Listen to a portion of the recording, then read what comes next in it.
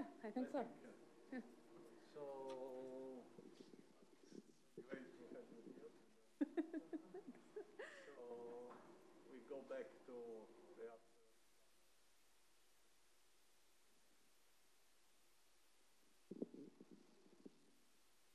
So I know I don't look like Dan Schrag, and I definitely don't play him on TV. But uh, thank you, everyone, for coming back from lunch to come uh, learn a little bit about my research in uh, the archaeological past.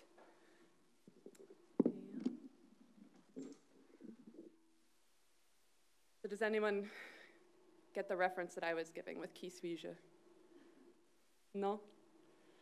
The opening lines of the André Breton novel Nadja, which I know has nothing to do with us, but I always think of it when I'm uh, putting these together. So I have kind of a different background, so I just wanted to tell you a little bit about that. My background is both in anthropology and in environmental science.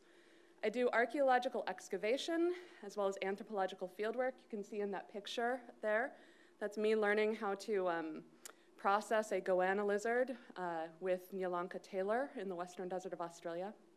And I'm currently a professor, assistant professor of social environmental modeling at Utah State University and a fellow at the Santa Fe Institute. So what I really want to do is use the archaeological record and archaeological data, as well as understandings of ecology, to understand our human place in the world. The reason why is I think that archaeology provides us so many examples of things that happened in the past that can help us understand things about human sustainability. I have a new paper coming out momentarily in Trends in Ecology and Evolution that argues for this field that I'm calling archaeoecology, kind of a bridge between paleoecology and modern ecology, which people have been doing this stuff in a grassroots way, but coalescing this into using computational models, um, and please don't tweet this picture, just so you know, but using computational models and archaeological data with paleoecological methods to try and really understand the trajectory of the human species. So I kind of encapsulate this in this figure here, where we have the modern ecology with the goat and the tree, and we can get pollen and tree rings, which can also come from the archaeological record, but we can get this through time. And this can tell us things about ecosystem change. So that's what I'll really be talking to you about today. Most of what I'm going to be talking to you about is my work with humans in food webs, and I'm going to give you two different examples of that. I won't be going into the nitty gritty details of food web modeling, but I'm happy to answer any questions. And if there are clarifying questions that need to happen during my talk, please just go ahead and yell them out. So, food web studies come back to Italy. The first food web was written by Lorenzo Camerano in 1880 in this beautiful paper that the translation of is on the equilibrium of living beings by means of reciprocal destruction. So Camerano noticed that organisms would eat each other and that these connections of consumption led to this overarching web. And so modern food web studies are really building on this 150 year science of things that Lorenzo Camerano started doing back in the 1880s. He uh, ended up being a professor up in Turin. And so my work really honestly builds off of that. So from these very simple early models, um, we can move to these slightly more detailed uh, models that you see um, on the right. This is a published food web from my work in 2017.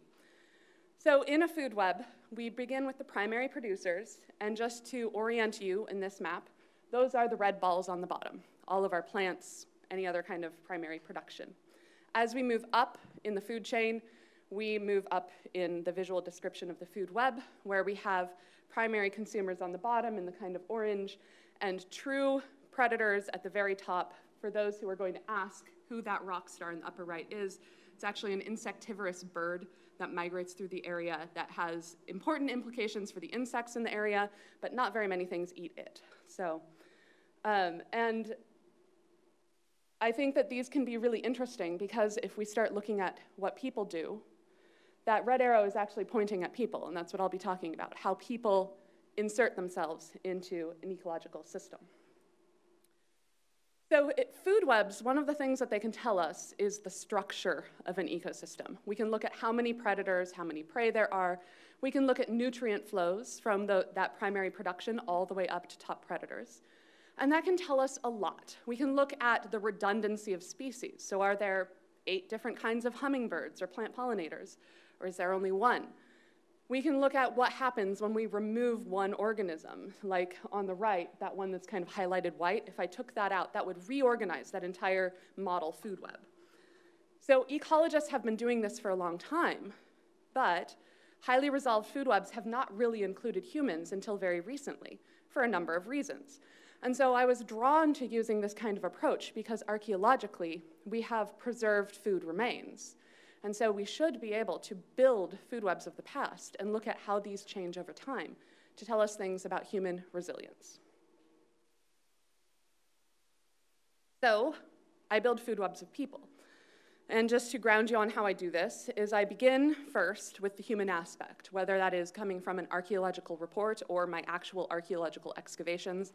So what do we dig up? What do we identify zooarchaeologically or archaeobotanically?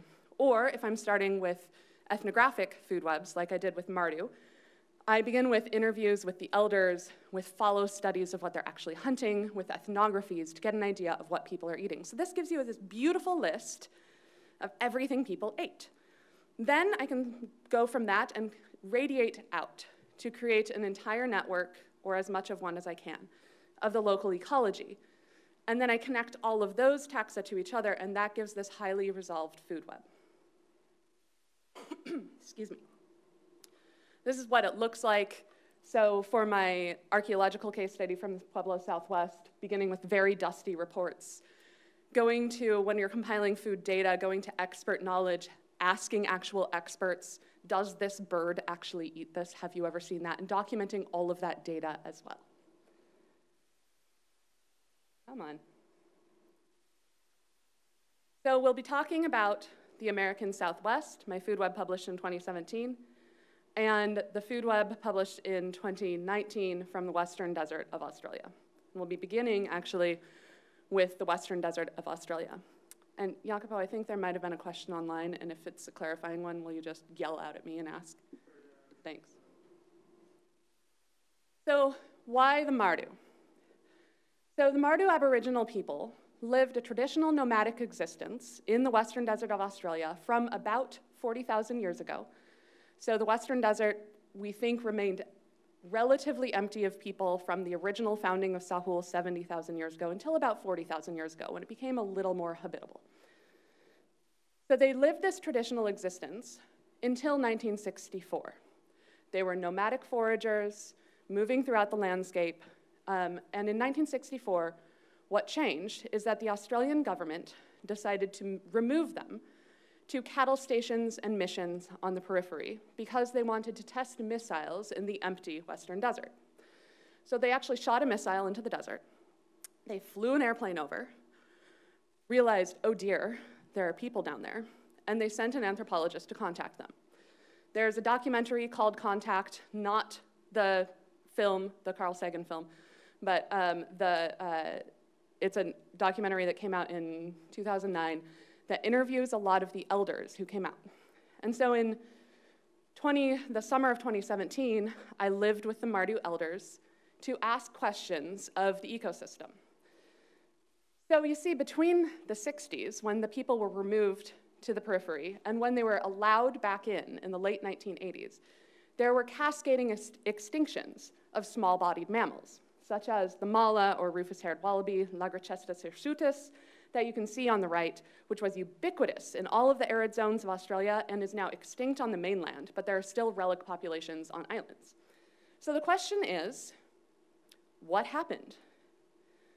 So when you remove people, and if this was a PowerPoint, you'd actually see a video shot by drone of uh, fire.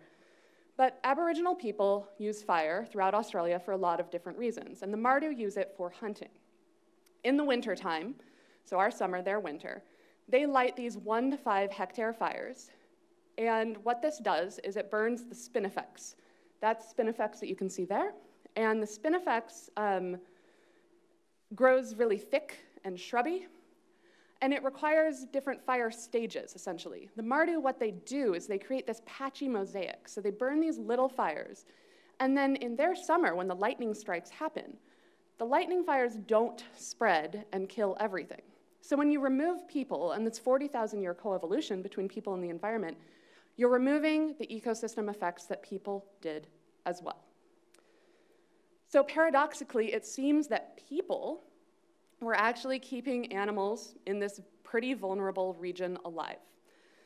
So I wanted to look at this long-term coevolution between people and ecosystems and apply this food web model and work with Mardu elders to understand what could have been going on.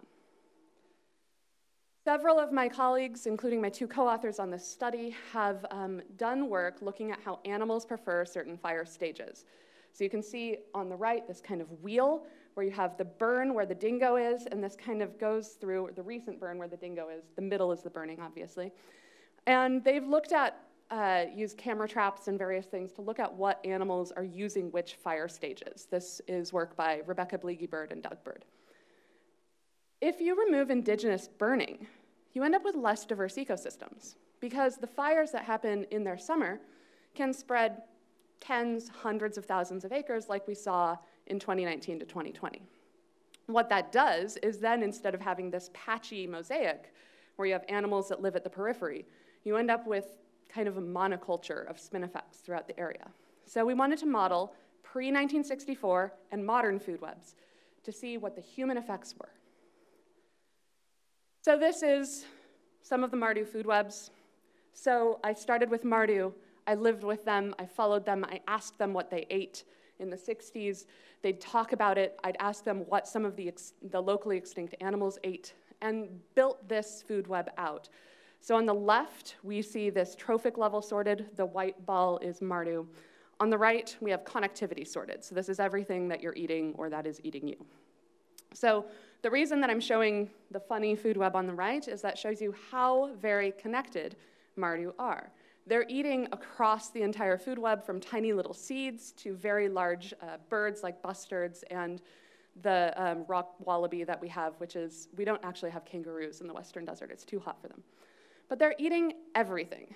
So if you remove Mardu, you're actually removing one of the most generalist predators out there. We can look at this another way, which is by looking at, and this is both the 1964 food web, by the way, I didn't um, say that. And I also do have these in different seasons. So right now we're actually looking at the summer food web. There's not a huge difference, but there's enough of a dif difference, and I'll tell you about that. So we can look at this another way and look at just what is that high generality and how does it change. So this is what the 1964 food web looks like, and I have um, weights for the different organisms based on talking to Mardu and going through ethnographies and seeing how often they eat all of these things. So on the right, you have plants and fungus. On the bottom, we have mammals going across. On the left, we have birds, and then we go up to the, the herpetofauna at the top. Mardu are eating a surprising amount of things. Um, in the 60s, we already do have some invasive species. I don't know if you can see it, but at the bottom here, let's see if this works. Ooh, that's a camel. I know you can only see its hump. Camels are not native to Australia. They were introduced by some enterprising British person who thought that all deserts should have camels. But they were already there in the 60s, as were cats and foxes in small amounts. Mardu would eat them because they are there. But you can see that there are certain organisms that are incredibly important to them. So then we can look at the modern food web. So what happens after they're gone for over 20 years and they come back? Because things do change. Well, we see a huge constriction, um, and the flour and ham is just my illustrative representation of store-bought foods. They're not always eating flour and ham, though those are two of the main purchases that they make. But you can see that there's this huge constriction to some of the most important taxa that they ate before, like goanna lizards at the top. A lot of the plants um, constrict down to uh, bush tomato, solanum fruits, and some of the more important uh, mammals at the bottom. But 80% of their diet in the summer is coming from store-bought foods. So I asked one of my informants, well, what happens? So there is a tiny little store in Parnngurr, the Aboriginal community that I worked in. What happens if the truck doesn't come in? Because that happens. And they say either you go hunting or you get really, really hungry. So they still have this representation or this connection to the ecosystem, but it's at less, it's less strong than it was before. Okay, so we know that this changed, but there are several things that changed here. The human portion of what they're eating, so you can see that this is very different. There are also extinctions, and there are also some invasions. So how am I going to compare food webs that have different sizes together? Is there an actual change that happens that we can detect? So I employed what's known as a niche model, which is um, an Erdős-Rényi randomization of the food web that maintains the hierarchical structure of the food web ran those simulations a thousand times, looked at the difference between the 64 web, a web without people, and a web with people. So what these niche models do is it simulates the food webs with similar number of links and looks at what random structure would be. The reason this is important is as ecologists, we know that extinctions just happen. It's one of the things. So we have to understand what the baseline rate might be before we compare to a modern food web, and we can look at what effects humans and their eco ecological um, effects had within the food web. So these are essentially the results. What you're seeing here, the orange dot in the center, that is the 1964 web. The red bars around it, that's the niche model. Um, the brown triangles are a web without humans, and the yellow triangles are a web with humans. So we see some things where it's just within the natural variability. Vulnerability standard deviation, which is looking at uh, vulnerability to predation, things like that are kind of within variability. But there are structural things that are very different between when people are there and when people aren't. And so what I determined from these uh, analyses is that Mardu tend to be these knitters of ecosystems, that their function within there their grazing ability, their broadcast fire, all of these things are kind of holding that ecosystem together. One of the really, really, really critical features that they have is in the summertime. They're one of the only predators of large snakes and goanna.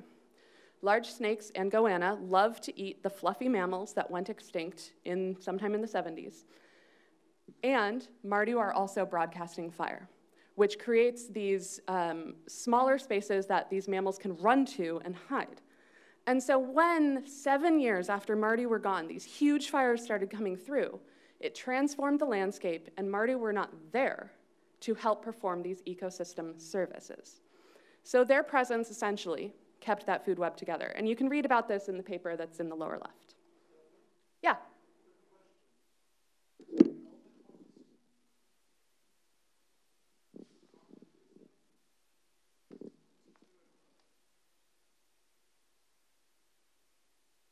So the question was, how common are Erdős-Rényi um, randomization simulations in food web studies?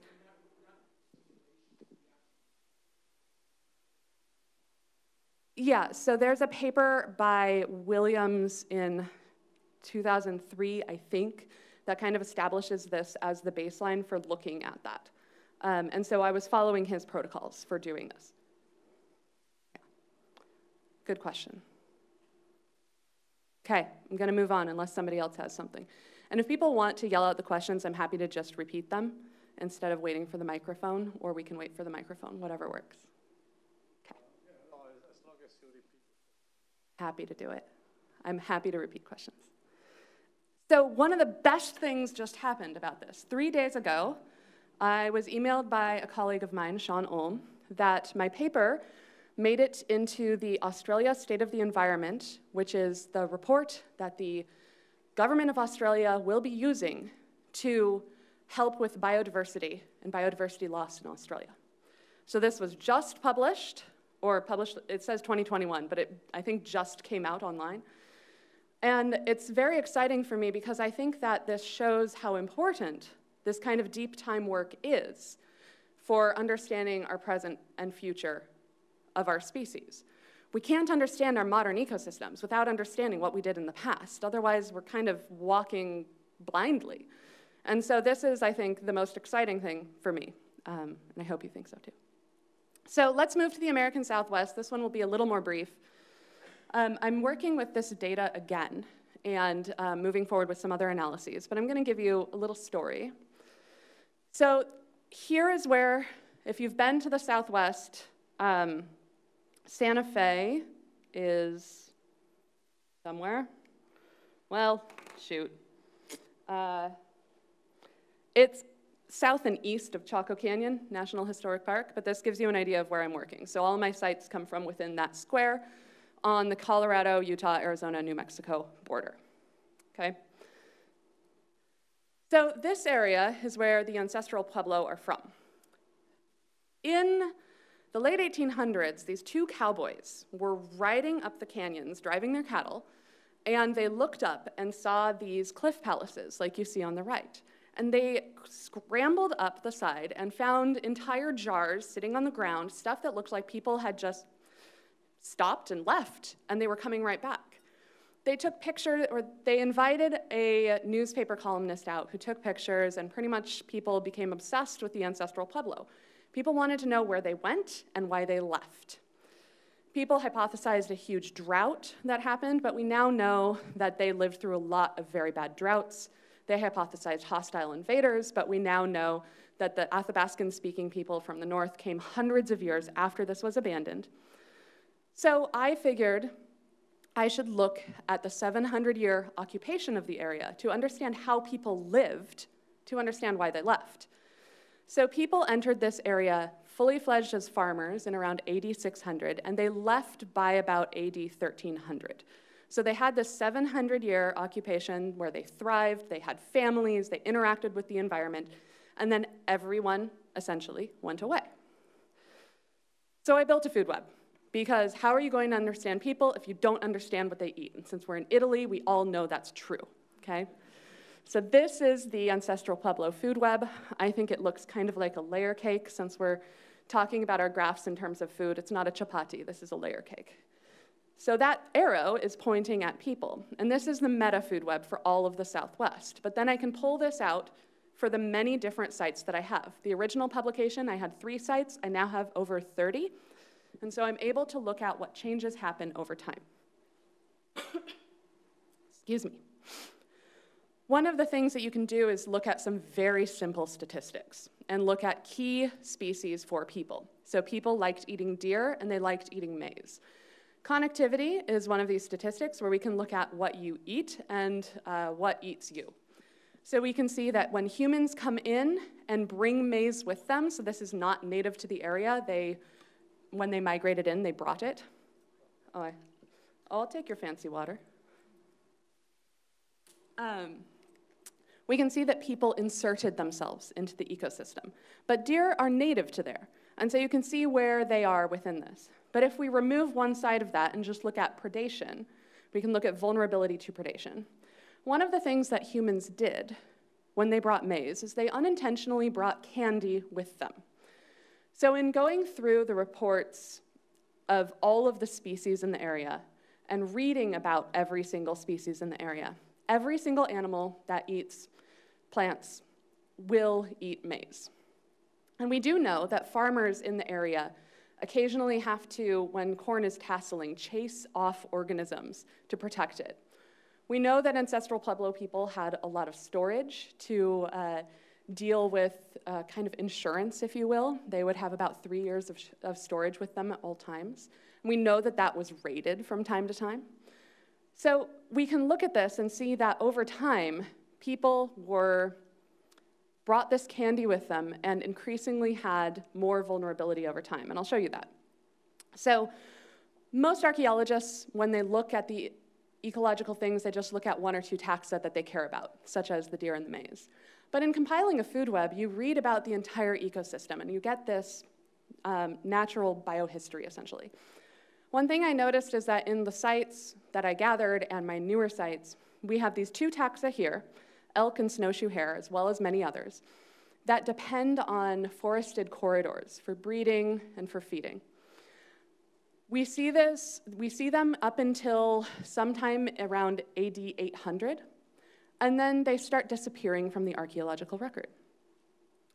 By the time AD 1180 shows up, we start seeing these two bird species that do not exist in the area anymore. Scaled quail on the left, they're from around Farmington, New Mexico, which is a couple hundred kilometers away. Since 1909, there have been three sightings of scaled quail in this area. And on the right, we have sandhill crane, which um, since 1909, we now have 11 sightings because there were two last year. But we see these in abundance. There's a diagnostic hyoid bone for a scaled quail as opposed to a California quail, and so we can actually identify them in the archaeological record. What this is telling me is that there is some kind of an ecological shift. We've known about deforestation in the area for a while, but this is showing us other effects of that. Humans are creating a niche for other species. So people had to clear trees for building their fields. When we talk to descendant communities, they talk about how you can figure out essentially the acidity of the soil um, based on what plants are growing there. And they like to plant maize where juniper used to be, so they clear juniper from the fields. They also use juniper for building their houses and things like that. Over time, they're going to be clearing the landscape, which we've known about from pollen cores. And we know that people have to go farther and farther afield for their wild resources. So even though people are farmers, they're still engaging with the wild ecosystem as well. Other people have estimated the population in the area. Um, Dylan Schwindt estimated the population to be about 27,000 in the 1200s, right before depopulation. This is a very, very high amount of people. It's about the amount of people that live there now, and there's a Walmart there. So these people are farming and fielding or gathering wild resources, and they're only going to be able to do that, really, when there are smaller densities of people. Otherwise, there's so many people packed on the landscape that it becomes problematic. So I talk about this obviously a lot more in this paper. I have follow-on papers that should be coming out in the next year. Um, but I really want to go to what could uses beyond food tell us. Because we're people, and we do things other than eat. We make clothes, we build buildings. And so with some collaborators, I've started looking at the various ways that humans interact with the biotic environment. So categorizing things not just in food, but looking at clothing, housing, fuel. These are categories I debated with other archaeologists for a long time. And we've started cataloging this for not just the ancestral Pueblo, also the Mardu, Meriam Islanders, um, Pacific Northwest. I have a published paper with the transition from uh, the Mesolithic to the Neolithic in Central Europe. Um, but this is a way for us to start looking at the ways that people interact with ecology. Here's one thing that will be forthcoming in this paper that I think really takes the discussion away from just the importance of maize as a food, the importance of rabbit and turkey and deer as foods, but looking at all of the uses for all of these. And for this, I'm relying on, if you see something archaeologically like a a, a biface, an arrowhead, hafted to a piece of juniper. We can say that that's an artifact, right? The juniper is used as an artifact. But also um, working with descendant communities to identify how they use things. So one thing that I want you to see here is that maize is really important, but so is juniper, the primary tree species, as well as pinyon. And these are used as well in food and in ritual and all of these things. So you're making a choice between eating and building things. And these would be hard choices over time. Choices that we are making today, too. How do we decide how to use our biodiversity, and how do we provision our children when we know that there is a slow unfolding catastrophe before us? Oh, come on. So, this is from the Swifterbant study, where we looked at these kinds of connections in an overall network. And what this tells us, using network analysis, it can kind of tell us the importance of a taxa to the connectivity of everything. How many things is it used in? What happens if you remove those taxa from the landscape? So in Swifterbant, it's interesting because we have the Neolithic population coming in and replacing um, the hunting and gathering way of life, whether it's people changing or a re, uh, switching of the population is still debated. But one of the things that we can see is we can actually look at this and what this kind of structure does to the ecosystem. And I apologize for not putting the citation on there, but I'm happy to share it with anyone. Um, it's open source, so you can find it, open access. Another thing that we can look at is how people bring things together. So remember I said people are eating maize, but they're also actually eating juniper. So a lot of the time for nixtamalization, to make sure that your corn um, has uh, protein in it, um, you end up boiling it with a little bit of ash from a tree. And so when they make piki bread, the descendant communities do, they follow this recipe where they add uh, chenopodium, which is essentially a, a quinoa type species, it's goosefoot in this area, as a dye. They're adding juniper ash. They're using uh, helianthus, a sunflower hood, to put over it to help the bread kind of rise. And this is coming together on this little stone there. You can see the picture that I took. Um, to make the bread. And so this is really important. So imagine you're a person who has inherited a landscape where deforestation has happened over time and across space. So you're having to make these choices and decide what you are going to do. So when people left the ancestral Pueblo area, one of the things that my paper from 2017 talks about is they were experiencing a landscape of shortage over time, but they had come to a kind of sustainable way of doing things if they came to a new area. And so my argument is that it was time for people to go, which is what uh, descendant communities will tell you, to bring these sustainable strategies, to migrate to a new place where there weren't people living there yet, and have these sustainable strategies that when Europeans came to the US, we saw the descendant communities using. I think this can link to some of the discussions we're going to be having tomorrow about migration, because people had a place to go then, but we don't really have a place to go. Mm-hmm. So, with these studies, one thing that my colleagues and I have talked about is ways to understand how people process information about the landscapes that they lived in.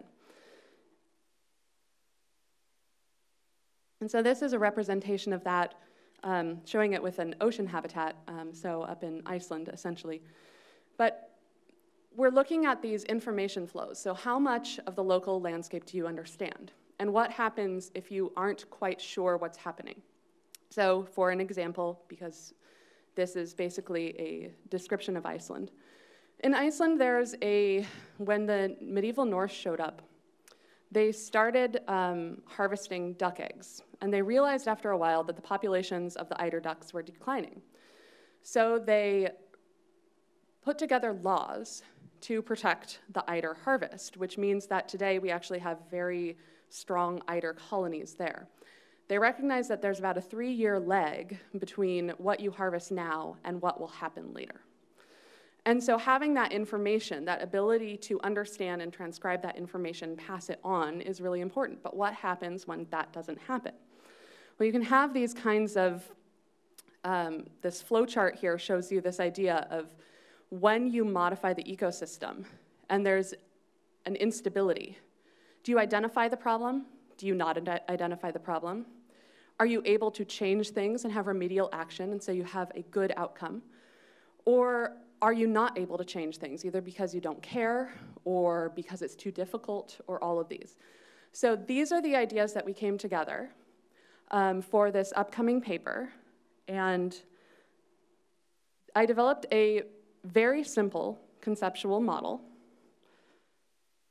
which is here, that is looking at how there's total information within an environment that we can't access. We cannot know everything about an environment, no matter how good of scientists we are.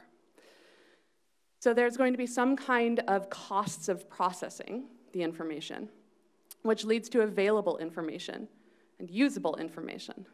There's going to be costs of actioning the usable information, which can lead to that wielded information. And there will be losses of information due to your perceptual limitations. This was just accepted in global environmental change, where we use this very, very simple um, conceptual model to then look at three different case studies around the world, the Pueblo, the South Pacific, um, and Iceland as well. And so this is um, new work that I have coming forward that should be out in the next couple months. So, to sum up, Humans do impact ecosystems, but we are a part of the environment. We have evolved, and at least around 300,000 years ago, we started moving out of Africa and we started impacting ecosystems around the world. These impacts are not uniformly good and they're also not uniformly bad. But the archaeological record can help us understand when they're good and when they're bad. And we can look to these experiments with the past to understand what has worked and what has failed. And I think one thing our modern society is really bad at doing is learning from our ancestors. But I think that we can, and I think that's why we all are here. And so, what I do, archaeoecology, and modeling methods, I think can be useful for understanding this human place in ecosystems and helping us to move forward in a just way. So thanks to my funders, and thanks to all of you as well. Thank you.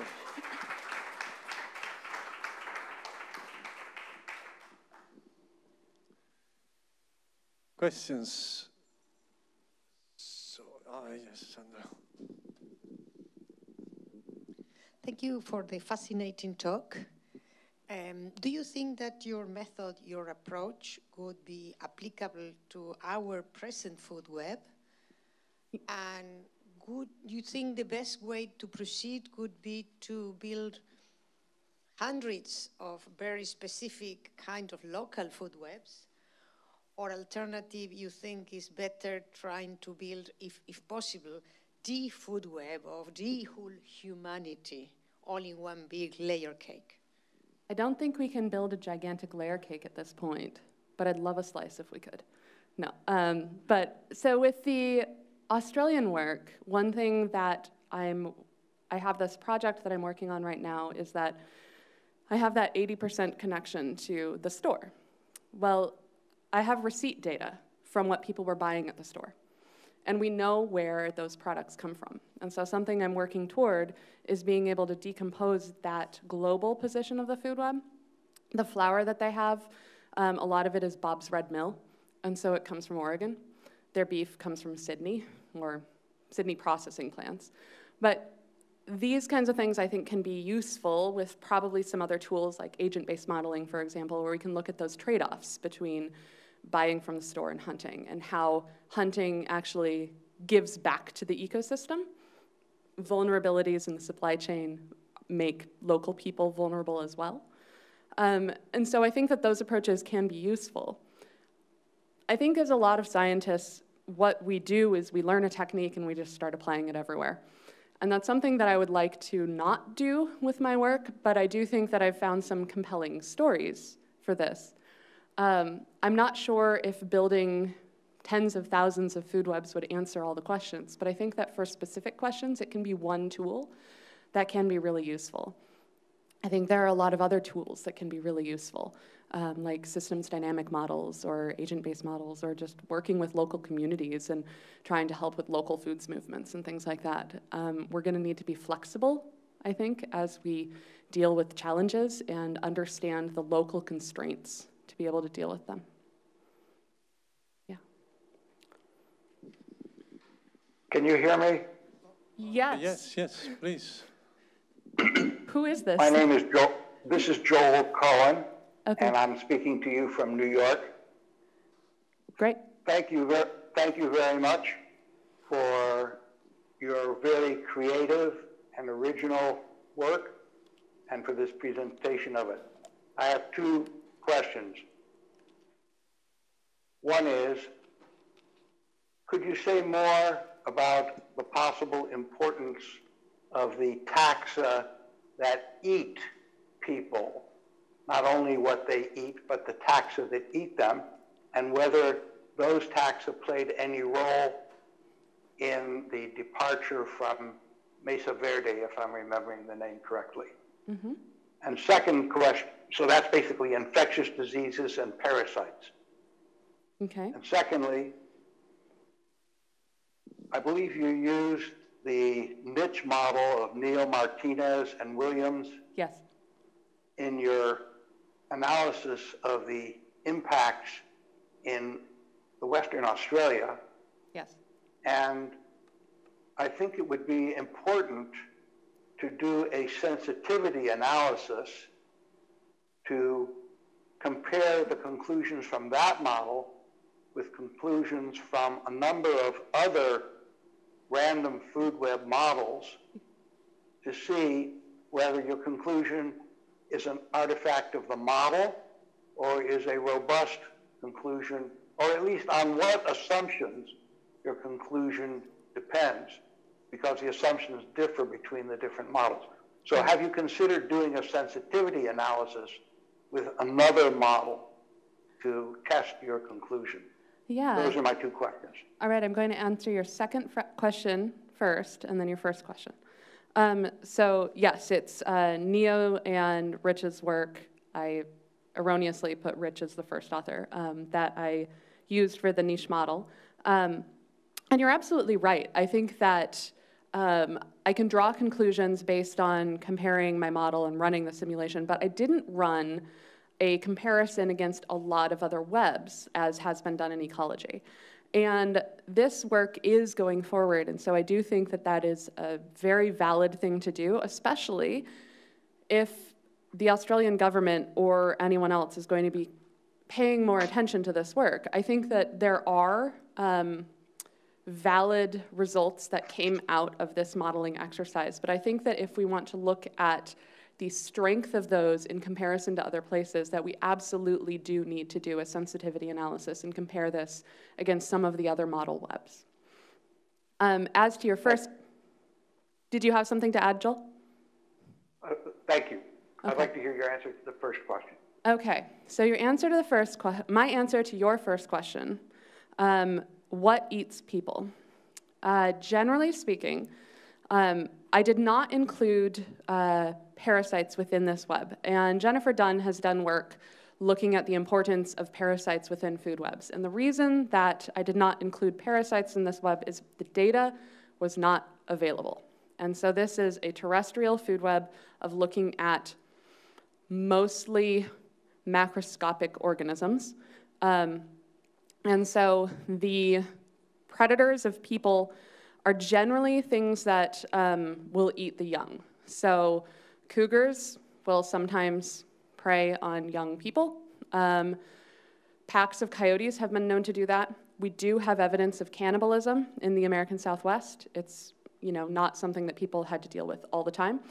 But uh, there are some papers on the violence in the Southwest. Uh, one was uh, published in 2014 called The Better Angels of Their Nature by Tim Kohler et al. and Kristin Kuckelman. Um, and so there are predators of people, um, but they are in lower levels and generally subadults who would probably be picked off in certain circumstances. Um, I don't think that people had to deal with regular predation by other organisms quite regularly, but it's still important to include those links. Thanks very much, Stefani. Thank you so much for your questions. Uh, f- Thank you. Very, very nice talk. Uh, Could could you expand a bit more on your conceptual model, I- where you had the information? I I don't think I understood it. Okay. So are these numbers that you can measure, or? We do have, so within the paper, we do have some numbers that we measured from Iceland, um, where we looked at, because in Iceland, they actually had written documents, and so we can look at when they had enough information that came in about the environment, how they had remedial change, and when they didn't have enough information, and how they did not. And so we use numbers-ish, um, looking at they had very high information flow, so between 70 and 90%, and things like that, and looking at how this can change the outcome in the end. So at what point does it matter that you have these compounding variables, that you have you don't have great information, you don't have people wanting to make change, so they're not wielding the information well. What does that do to the ecosystem in the end? It's a really a very conceptual model. Um, but I think that it can be helpful for looking at how people gathered information in the past and places where we can look at what the outcome was and look at this potentially for some things, some situations going forward.